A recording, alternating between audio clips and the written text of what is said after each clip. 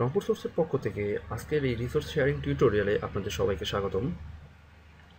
তো আজকের এই টিউটোরিয়ালে আমি এমন কিছু লিঙ্ক আপনাদের সঙ্গে শেয়ার করব, যে লিঙ্কগুলো থেকে আমাদের এই পুরো পোস্টের বাইরেও আপনি অনেক কিছু শিখতে পারবেন।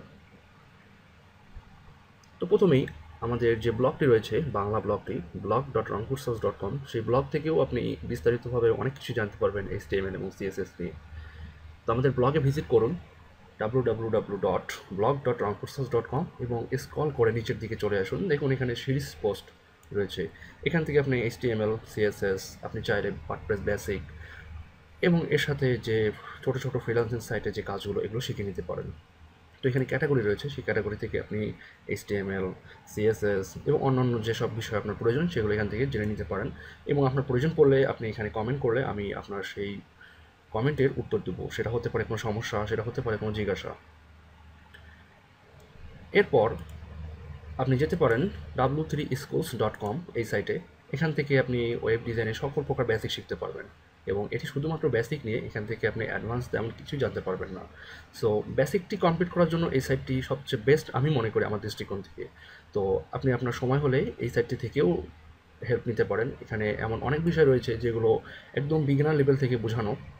তো আপনার কাজে আসবে আশা করি তো এই সাইটের আরেকটি লিঙ্ক যেমন W three schools dot com slash CSS slash CSS under space example dot ASP এখান থেকে আপনি যে বিষয়গুলো জানতে পারবেন সিএসএস এক্সাম্পল দেখুন এখানে সিএসএস ব্যাকগ্রাউন্ডস ব্যাকগ্রাউন্ডসের অনেক ইফেক্ট এখানে রয়েছে CSS text CSS CSS font CSS link CSS list table এভাবে করে অনেক ধরনের এক্সাম্পল এখানে অটোমেটিক্যালি ডিজাইন করা হয়ে গেছে তো আপনি এগুলো দেখলেও অনেক হেল্প পাবেন এগুলো থেকে কীভাবে করে ডিজাইন করতে হয়, এগুলো নিয়ে বিস্তারিতভাবে বর্ণনা দেওয়া আছে।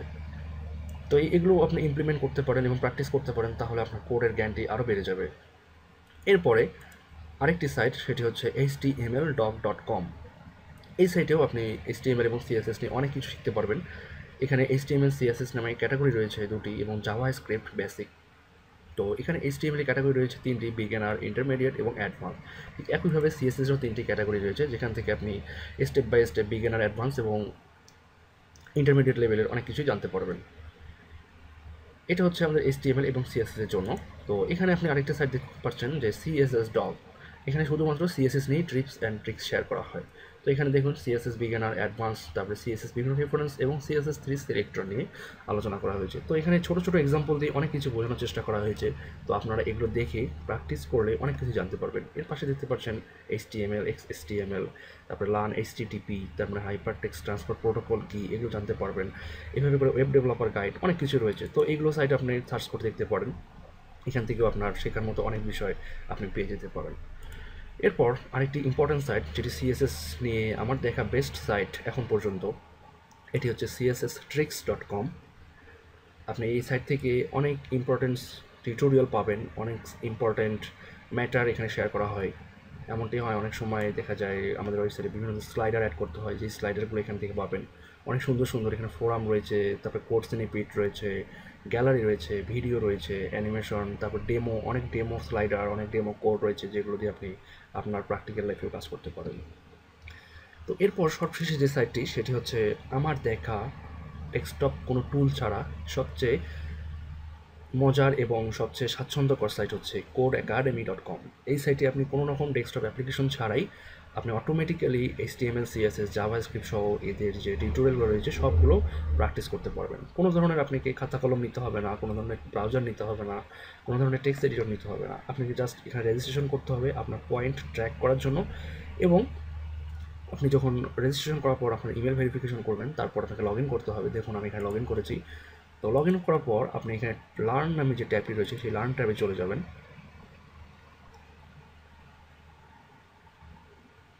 লার্ন ট্যাবে চলে যাওয়ার পর আপনি এখানে দেখতে পাবেন অনেকগুলো সিলেবাস রয়েছে, অনেকগুলো টপিকের উপরে। দেখুন, আপনার যেটি প্রয়োজন সেই বিষয়টি শিখতে শুরু করুন। যেমন এখানে ওয়েব ডিজাইন ফান্ডামেন্টাল যেমন how to build a website S T M L and CSS style and design তো আপনি এই সিরিজটি যদি শিখতে চান, তো এই সিরিজে ক্লিক করুন। এবং দেখুন, এখানে প্রতিটি সিরিজের চ্যাপ্টার এবং চ্যাপ্টারের ভিতরে যে কয়টা করে লেসন দেওয়া আছে, সেই লেসনগুলো এখানে। এবং লেসনের ভিতরে কতগুলো এক্সারসাইজ তারপরে কতগুলো কমপ্লিট কতগুলো ইনকমপ্লিট রয়েছে, সেগুলো সবগুলো এখান থেকে আপনারা শিখে নিতে পারবেন। তো আমি একটি এক্সাম্পল দিয়ে দেখাই দিই, কীভাবে করে আপনি এই লেসনগুলো কমপ্লিট করবেন। সাপোজ আমার ইন্ট্রোডাকশন টু এইচ তো আমি এইচ বেসিকে চলে যাই।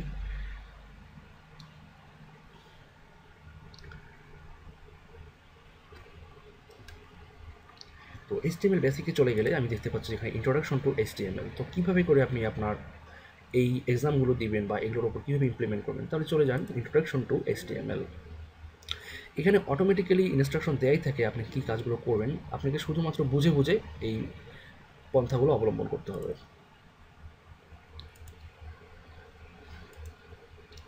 এবার দেখুন, এখানে কিছু বলে দেওয়া আছে। STML stand for hypertext markup language তো আসলে এখানে বোঝায় দেওয়া হচ্ছে যে এখানে এসটিএমএল কী এবং আপনি এই টেস্টটি থেকে পরের লেসনে যাওয়ার জন্য কী করতে হবে আপনাকে? এখানে আপনাকে যা করতে হবে সেটি হচ্ছে এখানে দেওয়া আছে যে go have go had and put the three line mention above into test dot H তারপরে বলা আছে in between the second and last line between HTML and the HTML মানে এখানে স্টার্টিং এবং ক্লোজিং ট্যাগের ভিতরে এই ডট এইচটিএমএল এই উপরে যে লাইন তিনটি রয়েছে, এগুলো দিতে বলছে। তো আপনারা ভালো করে পড়ে দেখবেন, আমি এখানে জানি বিধায় আমি এই জিনিসগুলো কপি পেস্ট করছি।